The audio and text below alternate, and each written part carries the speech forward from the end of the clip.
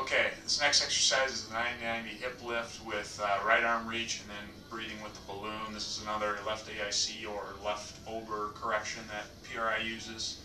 Um, with this, the way they advocate balloon breathing is not to pinch like I'm doing right now, but you get huge exhale, put your tongue on the roof of your mouth in between breaths.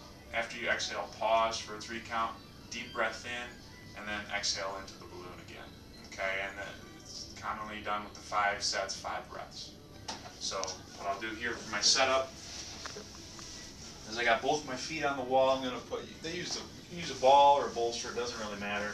But I'm going to perform uh, isometric gait adduction against um, the bolster. My feet stay flat. I dig my heels down into the wall, lift my knees up like so, Wow. and then on an exhale, I'm going to reach with my right hand. Okay? So I'll throw the balloon in and next. Won't be able to talk, obviously, but here's what it looks like.